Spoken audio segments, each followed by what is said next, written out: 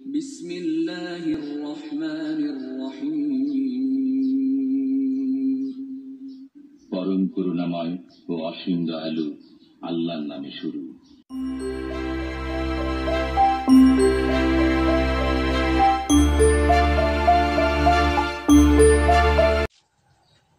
আসসালামু আলাইকুম চলে আসলাম নিউজিল্যান্ডের সিম্পল লাইফ ব্লগিং নিয়ে তো দেখতেছেন দেখে বুঝতেছেন এটা কি দুধ চা আর মুড়ি।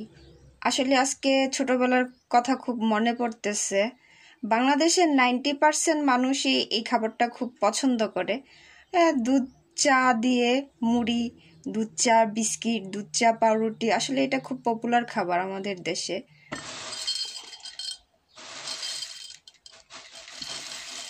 আমি মাঝে মাঝে এই খাবারটা খাই, আমার কাছে ভালো লাগে। আর আসলে আমি আজকে সারাদিন বাংলা খাবার খাব, তাই ভাবলাম সকালটাই বাংলা খাবার দিয়ে স্টার্ট করি। যার জন্য আমার দুধ মুড়ি চা দিয়ে স্টার্ট করা আর কি।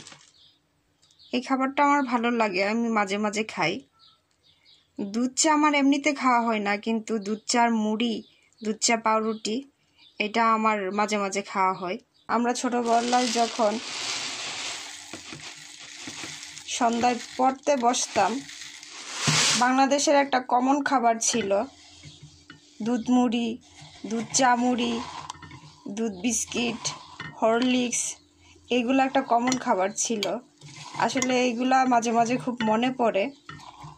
যার জন্য ওই ছোটোবেলার ফিলিংসটাকে মনে করার জন্য এই খাবারগুলো খাই আর কি।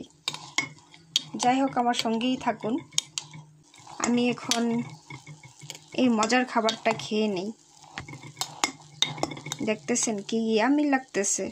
আসলে নিজের দেশের খাবার মানে বলে বোঝানো যাবে না। যে দেখতেছেন, আজকে সব বাঙালি খাবার রান্না করব। সব বাংলা খাবার। আজকে কোনো ইংরেজি খাবার নাই। আজকে রিচ ফুডও নাই। দেখতেছেন, লাউ চিংড়ি রান্না করব। আর এটার এই যে, এই বাকল দিয়ে সাথে আলু দিয়ে এটা ভাজা করব। এটা আসলে বাংলাদেশের অনেক জায়গাতেই খুব পপুলার এই খাবারটা। আর এই যে আলু আর আপনার ডাটা দিয়ে আমি মাছ দিয়ে ঝুল রান্না করব। আর যে ডাটার সাথে অনেক পাতা ছিল, ওইগুলা দিয়ে আমি শাক রান্না করব।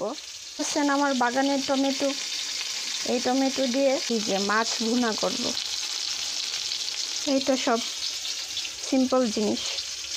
আমার গার্ডেনের ফ্রেশ কোরিয়ান্ডার এইগুলো দিয়ে আমি লাউ রান্না করব। লাউ অনেক কোরিয়ান্ডার দিতে হয়। তা আমি আমার গার্ডেন থেকে নিয়ে আসছি। এই যে লাউর তরকারি বসাই দিচ্ছি। তরকারি বসাই দিচ্ছি, এখন যা যা লাগে। এটা আসলে দেখানোর কিছুই নেই। সবাই লাউ তরকারি রান্না করতে পারে। আমি মাছ বুনা করব। মাছগুলো ভেজে নিচ্ছি সাথে টমেটো দিয়ে দিব, তাই একটু হালকা করে তেলে ফ্রাই করতেছি, জাস্ট দুই তিন মিনিটের মতো আর কি। দিয়ে দেন মশলা দিয়ে আমি এটা ভুনা ভুনা করে রান্না করে ফেলব এই যে দেখতেছেন, মাছ ভুনা রেডি হয়ে গেছে, তো আমি জাস্ট উপরে একটু গার্নিশ করে দিব ধনিয়া পাতা দিয়ে। এই, জাস্ট শেষ। রেডি হয়ে গেল। চিংড়ি মাছ দিয়ে যে লাউ রান্না করব, এটা মাছটা কষানো হয়ে গেছে। তো আমি এখন জাস্ট লাউগুলো দিয়ে দিচ্ছি। তো লাউটা দিয়ে দিলাম। লাউটা কষানো হোক। এই যে দেখতেছেন, লাউ আর চিংড়ি হয়ে গেছে। এখন জাস্ট এটাতে এটার আরও এরোমা বের করার জন্য এবং এটা মজা করার জন্য আমি এই যে কোরিয়ান্ডার গার্নিশ করে নিলাম। কোরিয়ান্ডার দিলে সব খাবারই অনেক মজা লাগে, বিশেষ করে লাউ, এটা তো আরও অসাধারণ লাগে। যাই হোক, হয়ে গেছে। এই যে দেখতেছেন, মশলাটা কষানো হয়ে গেছে। এই যে লাল শাকের যে ডগাগুলো, ওইগুলো এখন দিয়ে দিব। সাথে আমি একটা আলু দিছি। জাস্ট ঝুল ঝুল করে রান্না করব মাছ দিয়ে।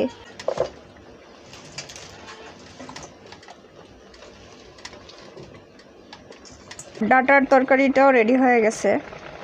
এই তো, লাল শাকের পাতা দিয়ে একটু শাক রান্না করে নিব। এই যে দেখতেছেন, আমার লাল শাক হয়ে গেছে। এই যে আপনাদেরকে দেখাইছিলাম যে লাউয়ের যে ছুলা ওইটা দিয়ে আলুর সাথে আমি আলুর মতো ভাজা করে নেব। এটা বাংলাদেশের বিভিন্ন অঞ্চলে এই খাবারটা অনেক ভালোই চলে। তাই মাঝে মাঝে রান্না করার চেষ্টা করি, এই আর কি। এই যে দেখতেছেন, আমি দুইটা সবজি আনছিলাম, লাউ আর আপনার শাক। তো আমি দুই ধরনের সবজি দিয়ে আপনার চার ধরনের খাবার তৈরি করলাম। এই আর কি যে আমার লাউ, চিংড়ি আপনার লাল শাকের ডগা, লাল শাক, আলু আল্লাহর ছাল ঝাল দিয়ে ভাজা। তো আর কি আজকে আমার টুকটাক খাবার। যদি ভিডিওটি ভালো লাগে লাইক কমেন্ট অ্যান্ড সাবস্ক্রাইব আজকের মতো এখানেই বিদায় নিলাম। আল্লাহ হাফেজ।